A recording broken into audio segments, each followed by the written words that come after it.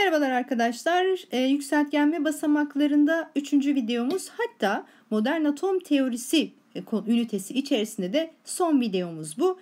Yükseltgen basamaklarının belirlenmesiyle ilgili uygulamalar yapacağız sizlerle birlikte. Dolayısıyla siz aslında yine yükseltgen basamaklarını nasıl belirliyoruz bunları öğrenmeye devam edeceksiniz. İlk örneğimizle başlayalım. Çok atomlu iyonlar verilmiş, altı çizili olarak belirtilen elementlerin yükseltgen ve basamaklarını bulacağız. Burada tekrar şunu hatırlatayım. Oksijen e, OF2'de artı 2 alıyordu eyvallah. Onun dışında eksi 1 ve eksi 2'si vardı. Ama eksi 1 aldığı peroksit bileşiklerini 1A ve 2A ile yaptığı bileşiklerinde alabiliyordu. Hidrojenin de artı 1 ve eksi 1'i vardı. Eksi 1'i yine 1A ve 2A gibi aktif metallerle yaptığı bileşiklerinde alabiliyordu.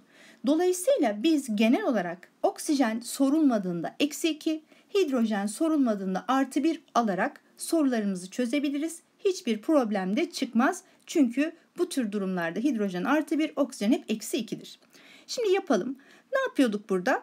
Bize sorduğu elementin yükseltgenme basamağını bulurken bütün elementlerin yükseltgenme basamakları toplamını iyon yüküne eşitliyorduk. O zaman bir tane kükürtle 4 tane oksijenin yükseltgenme basamaklarını eksi 2'ye eşitleyeceğiz. Buradan x değerini artı 6 buluruz. Demek ki bu kökte kükürtün yükseltgenme basamağı artı 6'ymış. Karbonata geldik. Yine oksijen eksi 2 alacağım sormadığına göre. Bir tane karbonla 3 tane oksijenin yükseltgenme basamakları toplamını eksi 2'ye eşitleyeceğim. Buradan x değerini artı 4 buluruz. Demek ki bu kökte karbonun yükseltgenme basamağı artı 4'müş. C'deki çok atomlu e, kökümüzde ne yapacağız yine? Hidrojeni artı 1 alacağım. Kükürtü sormuş. Oksijeni eksi 2 alacağım. Yani bir tane hidrojenin yükseltgenme basamağı, bir tane kükürtün yükseltgenme basamağı ve 4 tane oksijenin yükseltgenme basamağının toplamını eksi 1'e eşitleyeceğim. Buradan değerliği artı 6 buluruz. Yani bu kökte kükürtün yükseltgenme basamağı artı 6'ymış diyeceğiz. Bir aşağıya geldiğimde kloru bulacağım. O zaman bir tane klor, 3 tane oksijen, bunların yükseltgenme basamakları toplamını eksi 1'e eşitlemem lazım. Buradan x değerini artı 5 buluruz. Demek ki bu çok atomlu kökte de klorun yükseltgenme basamağının artı 5 olduğunu belirlemiş oluruz. Örneklerimize devam edelim. C2O4 eksi 2 kökünde karbonun yükseltgenme basamağını arıyoruz. Oksijen eksi 2. Demek ki 2 tane karbonla 4 tane oksijenin yükseltgenme basamakları toplamına eksi 2 diyeceğim. Buradan x değerini artı 3 buluruz. Yani bu kökte karbonun yükseltgenme basamağı artı 3'müş. Alttakinde 2 tane kükürtle 3 tane oksijenin yükseltgenme basamakları toplamını eksi 2'ye eşitleyeceğim. Buradan x değerini artı 2 buluruz. Yani bu kökte kükürtün yükseltgenme basamağı artı 2, oksijeninki eksi 2'ymiş. Bir altta hipoklorit kökü var. Bir tane klorla bir tane oksijenin yükseltgenme basamakları toplamı eksi 1 olacağına göre klorun yükseltgenme basamağını artı 1 buluruz. Bir altta fosforu arıyoruz. Hidrojen artı 1, oksijen eksi 2 olacak. Yani iki tane hidrojen, bir tane fosfor ve dört tane oksijenin yükseltgenme basamakları toplamını eksi 1'e eşitleyeceğiz. Buradan fosforun yükseltgenme basamağını artı 5 buluruz. İkinci örneğimizde bileşiklerimiz olacak. Bu bileşiklerde altı çizili olarak verilen elementlerin yükseltgenme basamaklarını bulacağız. Ee, bunun devamı da var. Böyle gidiyor seçenekler. Şimdi A'da Klor soruyor. Demek ki hidrojen artı 1, oksijen eksi 2. Bir tane hidrojenin yükseltgenme basamağıyla bir tane klorun ve 4 tane oksijenin yükseltgenme basamaklarını bunlar bileşik olduğuna göre sıfıra eşitleyeceğiz.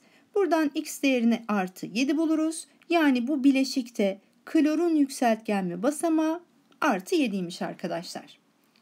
İkinciye geldik. Sodyum dikromat. Bir kere sodyum sabit artı bir değerlik alır. Oksijeni eksi 2 kullanacağım ve kromun bir tane krom, krom atomunun yükseltgenme basamağını bulacağız. Demek ki iki tane sodyumun, iki tane kromun ve 7 tane oksijenin yükseltgenme basamakları toplamını sıfıra eşitlemem lazım. Buradan x değerini artı 6 buluruz. Yani bu kökte her bir krom atomunun yükseltgenme basamağı artı 6'ymış. C'deki bileşikte demir ve kükürtle oluşan bir bileşik var. Kükürt 6 adaydı ve demiştik ki metallerle yaptığı bileşiklerinde eksi 2 yükseltgenme basamağını alır. Demirin ise artı 2 ve artı 3'ü vardı. O zaman biz burada kükürtün metallerle eksi 2 değerliğini aldığından yola çıkarak demiri hesaplayacağız. Ve diyeceğiz ki 2 tane demir ve 3 tane kükürtün yükseltgenme basamakları toplamı sıfıra eşit olacak. Buradan x değerini artı 3 bulacağız. Yani bu bileşikte demir artı 3 değerliğini almış. O zaman bu bileşiği okurken de mesela demir 3 sülfür bileşiği adıyla okuyor olacağız. Alttakine geldik. Yine demiri arıyoruz. 2 mi 3 mü almış? Bu arada klor 7A grubundaydı. 7A grubunda flor hep eksi 1 alırdı. Diğerleri artı 7 ve eksi 1 arasındaki değerleri de alabilirdi ama metallerle yaptıkları bileşiklerde sadece eksi 1 alıyorlardı. O zaman bir tane demirle iki tane klorun değerlikleri toplamını sıfıra eşitleyeceğim. Buradan demirin bu bileşikte artı 2 yükseltgenme basamağına sahip olduğunu söyleyeceğim. Hatta okurken de demir 2 klorür adıyla okumamız gerekecek. Evet diğer bileşiklerimizle devam edelim. Magnezyum nitrat. Şimdi azotu sorduğuna göre magnezyum ve oksijeni bileceğim. Kaldı ki magnezyum 2A grubundadır. Sabit artı 2 yükseltgenme basamağına sahiptir. Oksijeni de eksi 2 alacağım. Şimdi ne yap? İki şekilde yapabilirsiniz. Birincisi tüm atomların yükseltgenme basamakları toplamını sıfıra eşitleyebilirsiniz. Yani bir tane magnezyum artı parantezin dışında 2 olduğuna göre bunları 2 ile de çarpmam lazım. 2 tane azot ve 6 tane oksijenin yükseltgenme basamakları toplamını sıfıra eşitleyeceğim.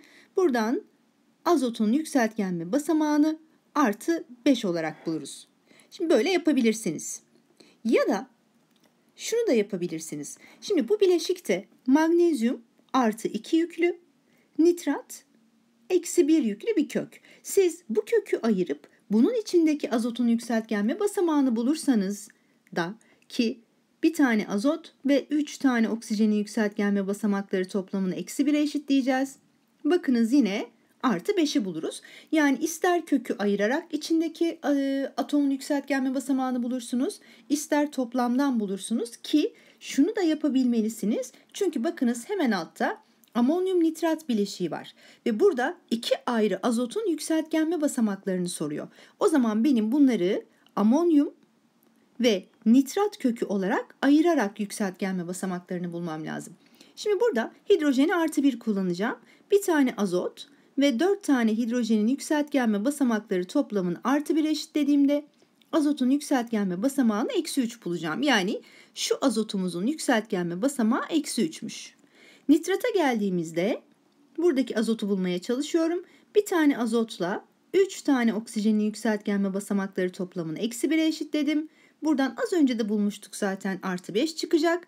Demek ki bu bileşikteki azot atomlarının yükseltgenme basamakları birbirinden farklı. Biri eksi 3, biri artı 5'miş. Baryum sülfata geldik. Şimdi kükürtü soruyor. Demek ki baryum ve oksijeni biliyorum. Kaldı ki baryum 2A grubunda sabit artı 2 alır. Oksijen eksi 2 alacakmış. O zaman diyeceğim ki bir tane baryum, bir tane kükürt ve 4 tane oksijenin yükseltgenme basamakları toplamı sıfırdır. Buradan artı 6 bulursunuz. Bu da kükürtün bu bileşikte yükseltgenme basamağının artı 6 olduğunu gösterir. Hatta az önce yaptığımız gibi SO4 kökünü de ayırabilirsiniz. Eksi 2 yüklüdür. Yine buradan da belirlerseniz kükürtü artı 6 olarak bulursunuz.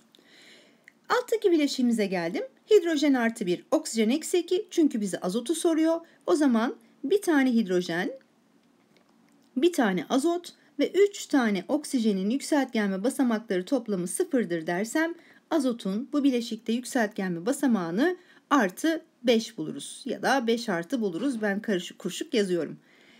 Bir alttaki bileşiğimizde altını çizmeyi unutmuşum ama hemen çizeyim. Azotu soracak. O zaman oksijen eksi 2 kullanacağım. Demek ki 2 tane azot ve 3 tane oksijenin yükseltgenme basamağını sıfıra eşitlediğimde buradan azotun yükseltgenme basamağını bu bileşikte artı 3 olarak belirlemiş olacağız.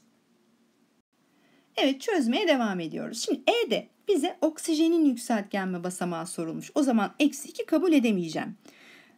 Demek ki ben kalsiyumun yükseltgenme basamağını biliyormuşum. Ki biliyorum 2A grubunda bulunduğu için artı 2 yükseltgenme basamağına sahiptir. Diyeceğim ki bir tane kalsiyumun yükseltgenme basamağıyla iki tane oksijenin yükseltgenme basamağı sıfır olacak. Buradan oksijeni eksi 1 bulacağım. Demek ki bu bir peroksit bileşiğiymiş ve burada oksijenin yükseltgenme basamağı eksi 1'miş. Bakın oksijeni sorduğunda diğer elementten gidiyoruz. Oksijeni sormazsa eksi 2 alırsınız. İkinci de yine azotu soruyor. O zaman iki tane azotla hidrojenin yükseltgenme basamağını artı 1 alabiliriz sormadığında. 4 tane hidrojenin yükseltgenme basamakları toplamını sıfıra eşitleyeceğim. Buradan azotun yükseltgenme basamağını bu bileşikte eksi 2 olarak belirliyoruz. Bir altta kükürt soruluyor. Hidrojen artı 1, oksijen eksi 2 alacağım. 2 tane hidrojenin yükseltgenme basamağı, 2 tane kükürtün ve 3 tane oksijenin yükseltgenme basamakları toplamını sıfıra eşitleyeceğiz. Buradan x değerini artı 2 buluruz. Demek ki artı 2 yükseltgenme basamağına sahipmiş kükürt bu bileşikte. Bir altta yine klor soruluyor. O zaman hidrojen artı 1, oksijen eksi 2. Bir tane hidrojen, bir tane klor ve iki tane oksijenin yükseltgenme basamakları toplamını sıfıra eşitlediğimde buradan x değerini artı 3 bulurum. Demek ki klorun yükseltgenme basamağı artı 3'müş. Şimdi geldik yine bakın iki ayrı e, atomun yükseltgenme basamağı soruluyor. Demek ki benim iyi de bu bileşikleri daha doğrusu bu bileşikteki kökleri ayırarak bulmam lazım.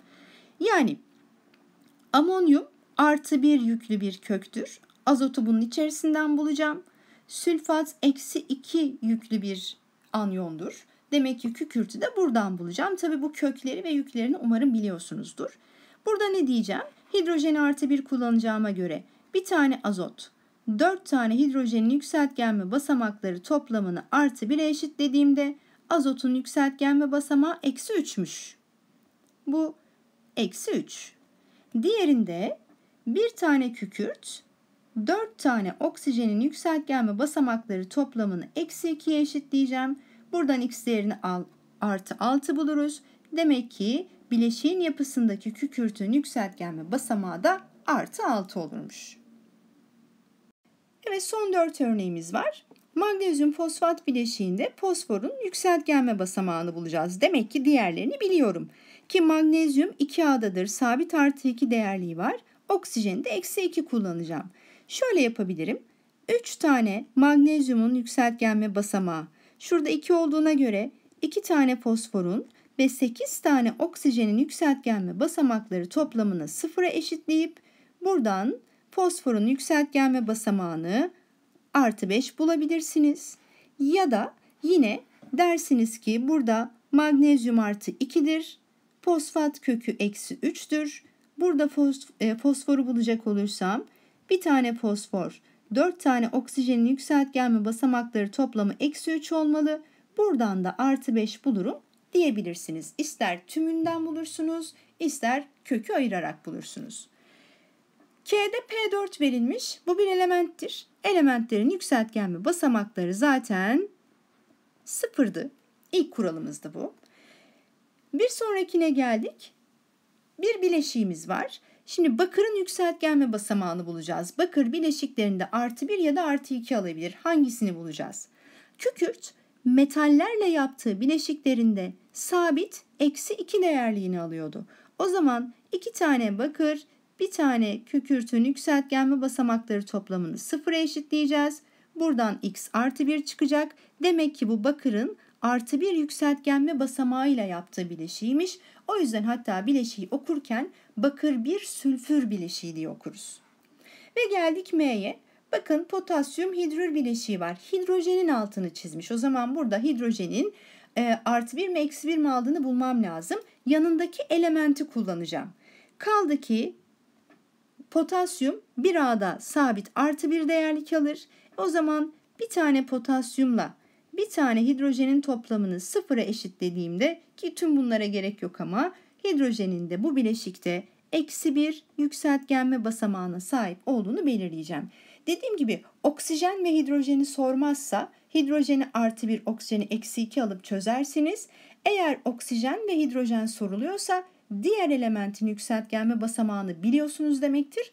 Onu kullanarak değerlerini bulacaksınız bu iki elementin.